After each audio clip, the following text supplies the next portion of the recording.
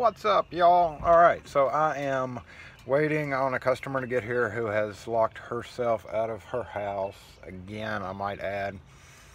I did it a couple of months ago, so I'm going to, and the reason they keep doing it is because they've got one of those old Schlage um, F-Series that when you turn the inside knob, if it's locked or unlocked, it stays in whichever position. So that is why they've locked themselves out so many times and I'm going to try to sell her a new doorknob because the new F series when you turn the interior knob it unlocks it. So after I unlock it again I'm going to see if she wants to put a new lock on. But I did a video earlier and I just went over and I was about to upload it but I noticed that it was very you couldn't hear anything because I was doing it at the front door and the door was open and of course they're still doing our sidewalks. So it was like in the background and you couldn't hear a thing and y'all a few of you have already said that you can't hear me very well. So um, what I was going to show you was this this oh customers here this is my Lishi key cutter. We'll talk about it in a minute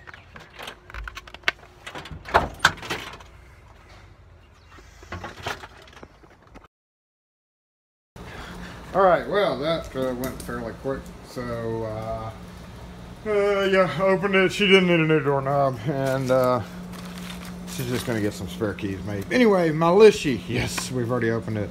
Opened it the wrong way, but it comes with this custom molded plastic case. Uh, sort of. It's just a piece of rubber that's cut out or foam. But even when you lose that, you can still use it like that. It's already got a crack in it. Mm-hmm. So the case won't last very long. I found a fix. Yes. Especially getting thrown around in a truck because that's where I just, what I just did was I threw it around in a truck and it immediately cracked the, okay, it's got to go. Got to go that way. Yeah. But let's look at the tool itself. Who cares about the case, right? And you may have seen this on other videos. I know a few of the other guys have ordered these and talked about them, but my perspective here, um, so I'm trying to go over what I went over in the other video that you couldn't hear. Lishi man, uh, pretty, looks authentic, but they could easily just change up one little part of that. And it could be a clone, but we're just going to presume this one is a legit. Also in the other video, I pointed out that if your hand is choked up on that and you get it caught, it is going to hurt. That is a pincher, or what I say, pinch. That pinch the hell at you. Pinch the hell at you. So anyway, it's got graduations, and I ordered this. I've been wanting one of these. I have long, long, long, long, maybe for 15 or 20 years, thought about taking parts, uh, a Curtis 14 clipper and, you know, the pew, pew, pew thing and modifying it to use with filing cabinets, but like it's one of those things I never got around to. So, or for Y11 key specifically, because most filing cabinets now are Y11 key. So, see how it works. The jaw, when you open it, is a little bit inverted there, kind of pointing in to get a good bite on the key and it just nicks it off. Those graduations are on there. This is you know 0.5, 0.6. Uh, yeah, it's different graduations. So it just depends on how deep you want to go. Now, of course, with filing cabinet keys, I've cut so many of them, I can pretty much get the spacing and the depths down because I mean a zero is you know no cut a one is just a little bit two is a little bit more. So basically I doubt I'll use these graduations a whole lot but let's see. So if that was a zero I don't even know why they put the zero on there I guess to start it.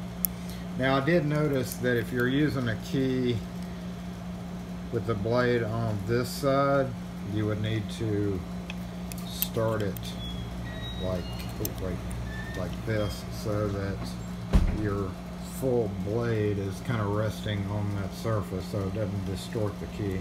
First key I used it on I cut it with the Y11 like this and because it stands off when you squeeze it in it kind of bends it in so I would want to do it like this if I was in the field so if I pull walk up to a filing cabinet and I'm like code 325E so I grab my thing I pull the code and let's see.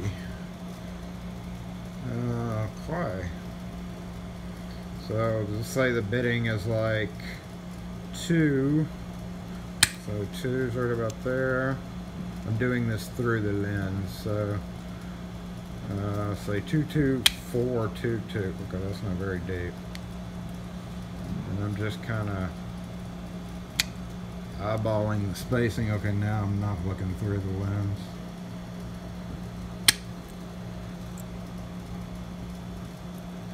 So 2 2 probably want to be pretty gentle with this. So I would definitely not take like a big chunk out at a time so if my bidding was like 22422 I would just go ahead and do one two three four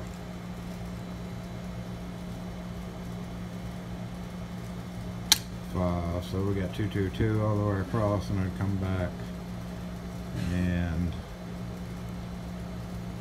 bring that down. It's not hard to squeeze. Got pretty good leverage. Of course, it's a new blade, so I'm just curious as to how long the blade will last. So that is a fairly acceptable 22242. It's really, the cuts are great. The angle the angle is awesome. That pretty much matches a 1011 wheel.